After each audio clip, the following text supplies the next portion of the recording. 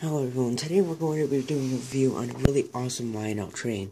Um, I hope you guys enjoy this review. Um, even though it might look like an unboxing, it's just a review. I'm just going to show you the box. Um, but I hope you guys enjoy my video.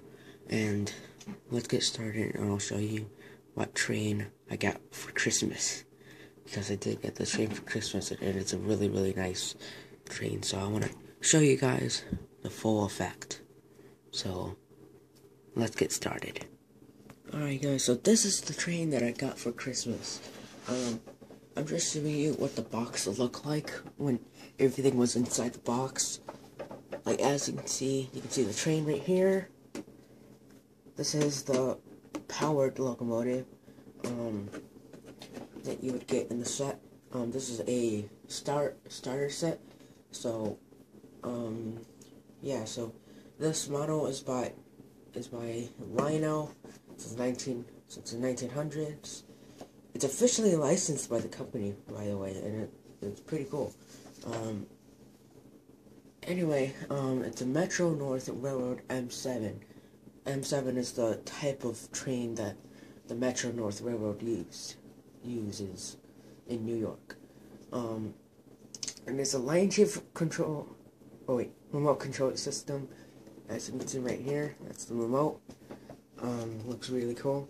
Um, if we can, uh, turn, um, I'm gonna turn the box, and I'll show you, um, what the features are. Alright guys, I'm back. This is the features that you would get with the Metro North, the Railroad M7 ready to run O gauge remote train set. Um, so here is the um, here's a category of the M7 powered car features because that's what I showed you before. Um, it come it comes with electric M7 powered car controlled by remote. Um, rail sounds RC sound system with the background sounds, user activated horn announcements uh, powerful maintenance-free motor, interior lighting, manually or oh whoops, uh, operating headlight, and manually opening doors. Um, let's move on to the second category, which is the M7 non-powered cars feature. Um, manually opening doors and interior lighting. Um, the Lion Chief remote features forward and reverse speed control knob, three buttons to activate horn, bell, and special announcements. Or, sorry if you can't see that. There you go. I'll read that again. Forward, reverse, and control knob. Three buttons to activate horn, bell, and special announcements. Requires three AAA alkaline batteries, not included. I already have the batteries in the remote. Um, the set features the set length is 45 inches. The layout dimension is 40 inches times 60 inches. Um, so that's how much you would need to use. Uh, um, but this train already came with um, track. Um, it doesn't. It doesn't really um, have to matter that much what kind of track it needs. It just needs the track. There's an O gauge track with three rails on it. So that's what you need, but it doesn't really matter what what what you need for the rail. But as you can see, there's a picture down here showing what the thing looked like. So let's get it out of the box, and I'll show you the cars and remote. Alright guys, I'm back. Um, I got the train out of the box and I'm going to show you one by one what that set included. So let's get started. We're going to first start with the controller. It's the Lion Chief controller right here. It says Metro. Hold on, let me focus it real quick. It says, oh, that wasn't up. There you go. As you can see, it says Metro North Railroad 4137. That's a locomotive number. It says Lionel since 1900. Um, as you can see, this is the knob with forward and reverse. Pretty cool. Um, and this is the three buttons to activate all the sound effects. Um, this is the um, horn, sound, um, announcements, and bell. So that's what you would need. So, um, actually, I forgot to tell you that I actually have another train that has this exact controller, but it's just something else. I have the Lionel 10 year anniversary Polar Express, which pretty much has the same exact controller as you can see. This is the Polar Express controller that I own. This is the Lion Chief Set 2. It's completely the same. The only difference is that the Metro says Metro North Railroad and the Polar Express says Polar Express. But the numbers are, are different 4137 and 1225. Let me actually show you, if you don't know what I'm talking about, the 10 year anniversary train. This is the 10 year anniversary steam locomotive built by Lionel. Um, as you can see, um, if you haven't seen it, if you haven't seen it on my channel, um, this is the 10 year anniversary Polar Express. Um, as you can see right there on the piston, it's a 10 year anniversary on it. Um, but this is the Berkshire, if you're not, if you're not, do not know about this train, but this is the 10 year anniversary Polar Express. So, this train runs on a Lion Chief Control Unit 2, which is pretty cool. So, let's move on.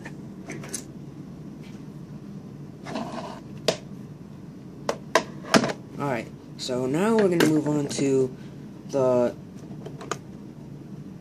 powered, uh, gosh, sorry, um, Let's move on to the powered locomotive, or um, metro.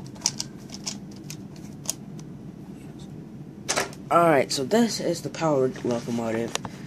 It's awfully, really, or it's a really, really nice model that Lionel has made. It's really, really detailed, and I have to say that it's like that looks really good to be a model. Like it, do, it does look like it could be in a city right now because it looks such detailed right now. Um, I have to say that Lionel did a good job on this on this locomotive. Um, let's just do more into detail here. As you can see, or if I can move the camera closer. Hold on. If I can move the thing closer, you can see all the details. Alright guys, I'm back. Um, as you can see, it has really, really nice detail, I have to say. Um, alright, let me just set down the camera real quick. Okay. Sorry about that. So as you can see, you can see all that detail that Lionel did. It looks really nice, to be honest. So let's go into detail. So let's start with the front. As you can see, um, the train has operating lights on the front. It looks really cool.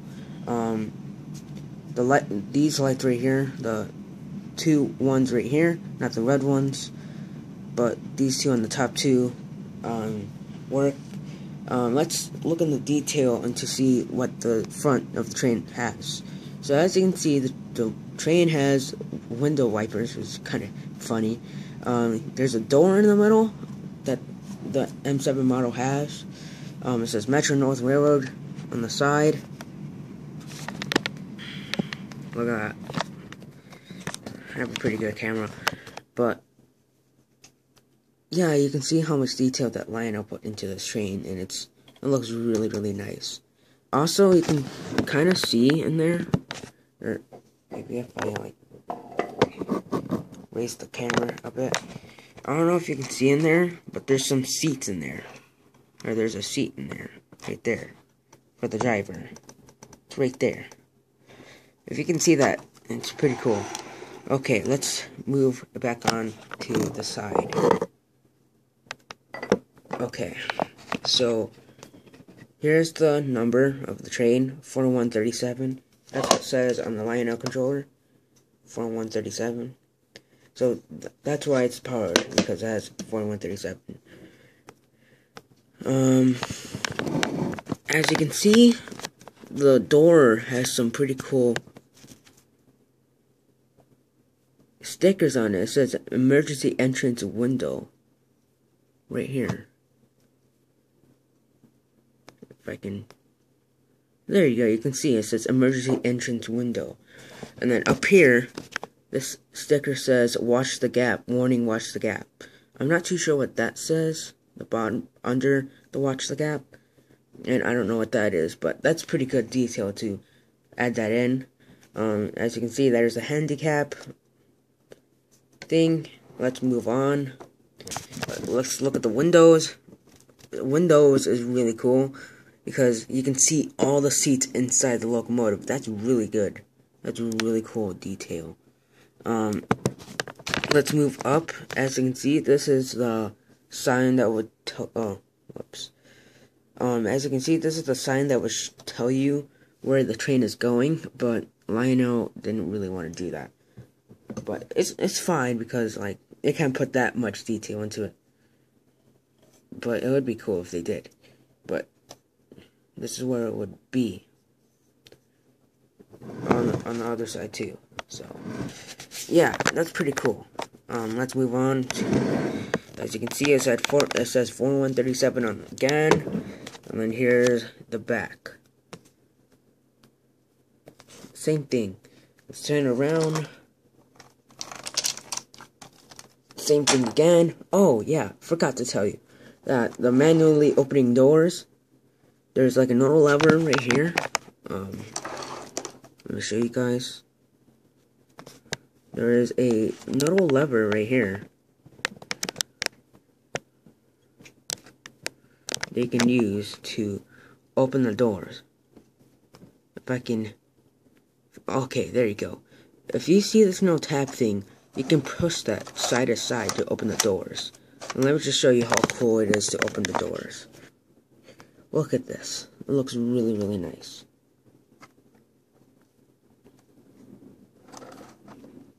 Like really, really nice detail. On the other side does it too.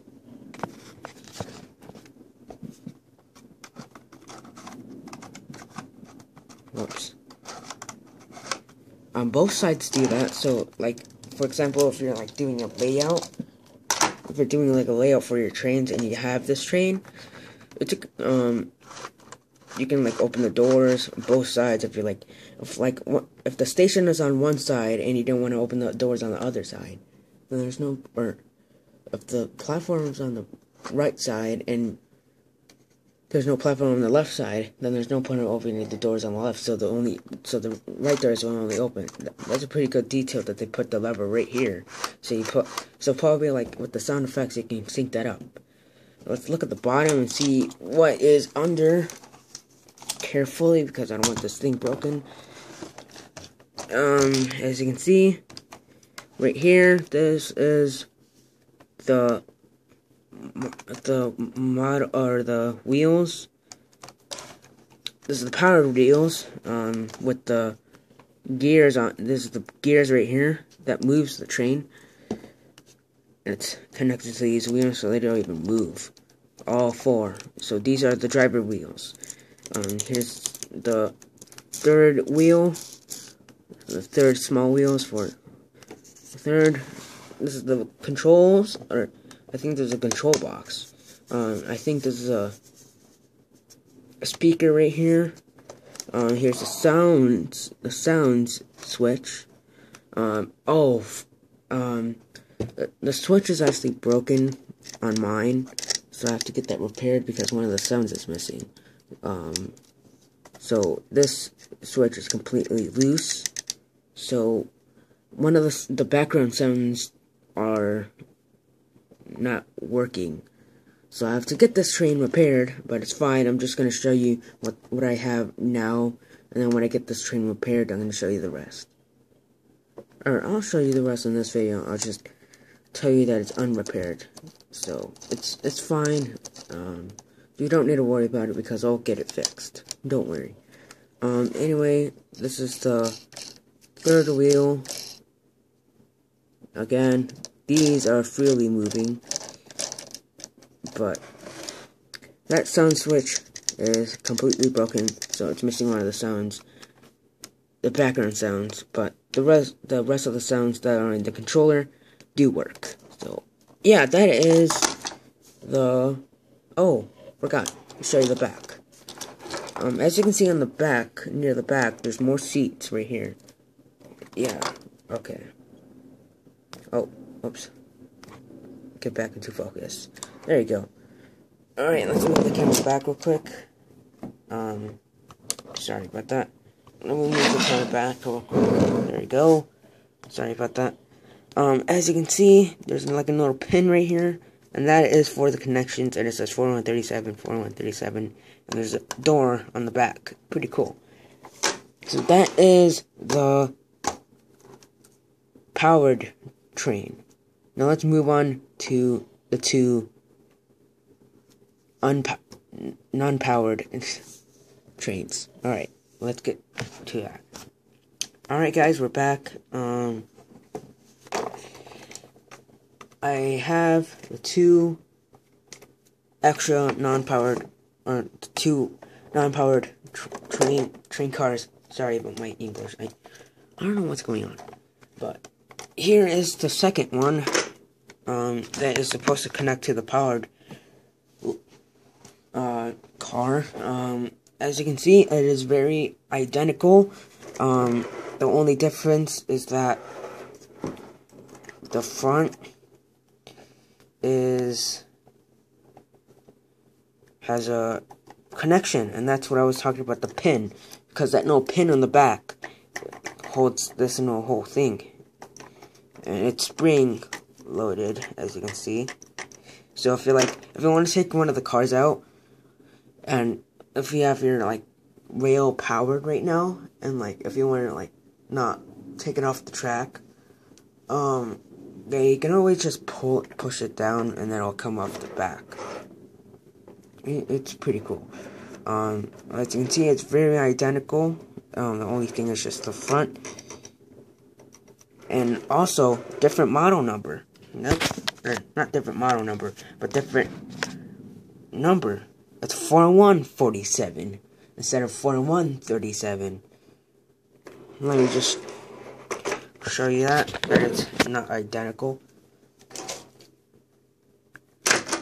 Okay, as you can see, the powered rail, or the powered locomotive is 4137, and the other one seems to be 4147. So the only number was 3 that was changed. Alright, let's put that locomotive back over there. Alright. Okay. So it's very identical. Um, the oh, the only difference um is the number and the two ends. Um, the other end is similar to the front, but the lights on this one do not light up. Um, unfortunately, this is not the back car because the pin is right here, and that's for the last car. So let's move on to the last car.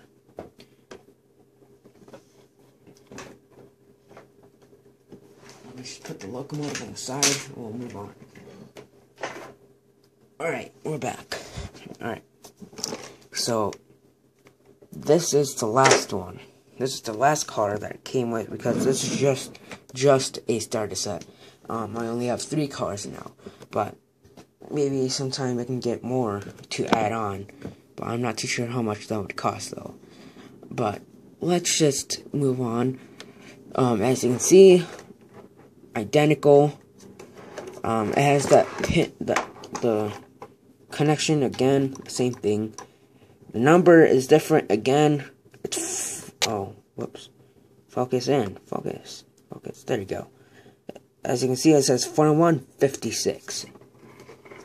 So they all start with 4 1, but they both, but they all have different numbers. So it says 4156. And this is the last car. So as you can see, there's no pin on it. But it looks very identical to the rest. As you can see, that there is nothing on the bottom. And this is what's on the bottom of the powered cars. As you can see, it's not really much to it. Because these are just powered, unpowered um, train cars. Um, this is the third. Um, as you can see, if you look at the two train car or two wheels right here, as you can see, there's like a little, there's a metal piece right here that gets the power from these these wheels and this wheel and these and this wheel. Same on the other side too. And also forgot to tell, show you guys that it does have manually opening doors too. All of them do. Oh, whoops, that's not supposed to happen. There you go. Kind of having trouble with this one. Same one on the other side too. But that's it, everyone. So let's actually move on to the track. Let's get on. Let's get the train on the track and see how it runs. Let's get started. Alright guys, so this is gonna, this is the track I'll be using. I'll be using four, four turns right here. One, two, three, four. With, with, um, with five straights. And then another four turn. Another four turn wheels. And then five more straights. So it's a pretty, pretty long track as you can see. Pretty cool. Alright guys, I got the train on the tracks. I got the power rail right here. Got the wire connected. I, I haven't connected all the way even though it looks connected. So I'm going to turn on the train with you guys. Let's get started. In three, two, one. Bam! As you can see, whole train is lit up. Awesome. As you can see, the lights on the front are completely on. Looks really cool. This is the inside of the cars. You can see the whole train is lit up. The windows. Every single car looks the same. But you can see all the seats in there. It looks really, really nice. Uh, sadly, um, I don't know why, but Lionel did not really put detail on the last car for lights because they would have been they would have lit up the back lights red because that would be the last car. If it was the front car on an M7, it would be the headlights on. But it, um, but it would, but if it, gosh, for the train would be going forward, um, or if the train would be going this way, then these lights would have come on. But if the if it's going the other way, then these would be red.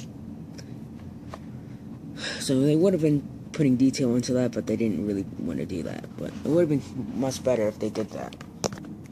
Alright guys, so let's simply go through all the um, sound effects. So this is the controller.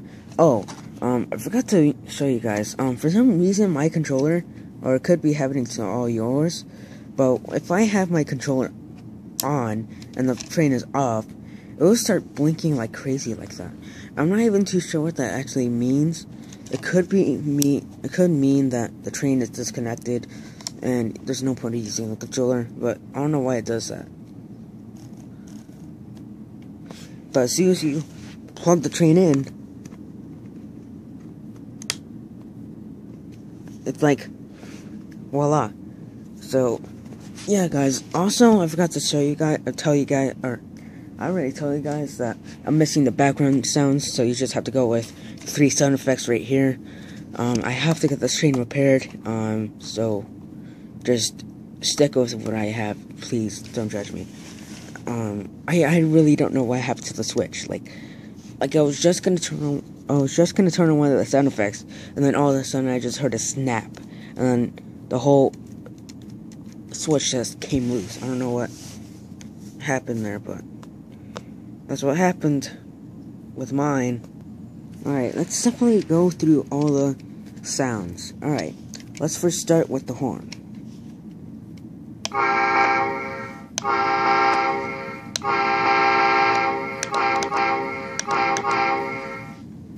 That's a very nice sounding horn, I have to say about it. Um, pretty cool. Um, also, I forgot to tell you guys that this train has more than one uh, sound effect. Um, it actually says it in the manual. Uh, I'm gonna get the manual and I'll show you guys what I'm talking about.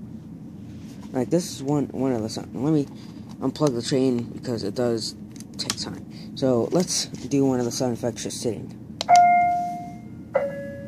As you leave the train, please watch the gap between the train and the platform. Yeah, that that sounded really cool. Like it says, but the train says if it's at a station and stuff. But it looks pretty cool, I have to say. Lionel did a good job on the set. Alright, let's try doing a different sound. This is the train to Grand Central. Nice. So as you can hear, that it says this is the train to Grand Central. That's pretty cool because Grand Central is in New York, and New York does use these trains, so pretty cool. Let's try doing another sound.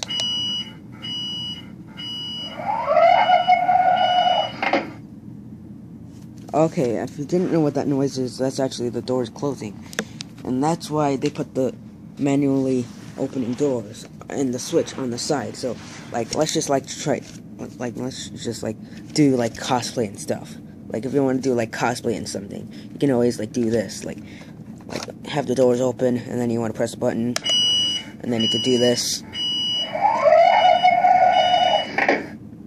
Yeah, you can like do cosplay and like sync up the sound with the doors. Pretty cool effect to do, I have to say. That's really cool. That's really cool. Um, let me let me show you guys the manual and see what I'm talking about. Alright guys, so I got the manual in my hands. This is the M7 Subway Lion Chief ready to run owner's manual. Um, this is the actual manual. Um, if you do have this train, um, I suggest you go look on page 12. On page 12, it says, triggering announcements with your Lion Chief remote control. Your locomotive, or let me focus that real quick. There you go. Your locomotive plays a variety of announcements that are designed to match the way you play with the locomotive. You can trigger announcements that corresponds to each part of the journey. When the locomotive is sitting less than 30 seconds, it will be doing stationary announcement 1. When sitting less than 30 seconds again, it will be doing stationary announcement 2 if you press the button again. If it's sitting more than 30 seconds, then it will be doing stationary announcement 3. Now, that's when it's just sitting. When it's mo- when the locomotive is moving less than 30 seconds, we'll be doing movement movement moving announcement 1. When it's moving less than 30 seconds again, we'll be doing moving announcement 2. When it's moving more than 30 seconds, we'll be doing moving announcement 3. So that's pretty cool. So I already did all three sound effects just sitting. So let's actually give this train a run and see if we can do the sound effects. So we're gonna finally see this thing roll roll out and let's see how this guy does. Oh yeah, before I do anything, I just want to show you guys the the last sound effect, which is the bell. Um, I'm gonna do the other sound effects when it's moving, so we'll just do bell too. Alright, let's try doing it. Hold on. There you go.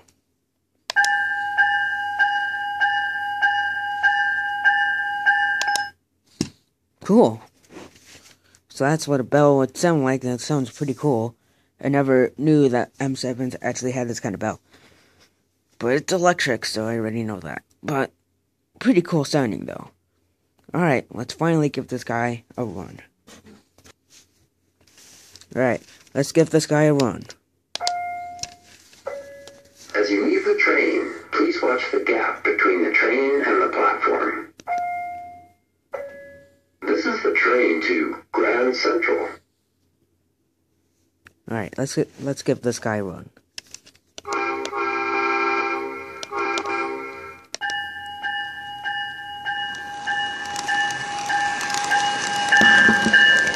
Oh.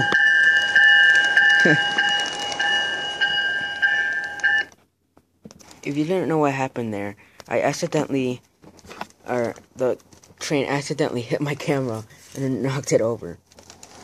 That was not good.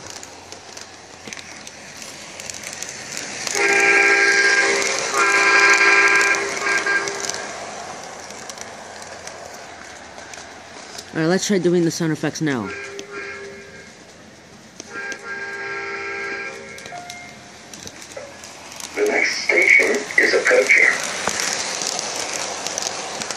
That's something I never heard before.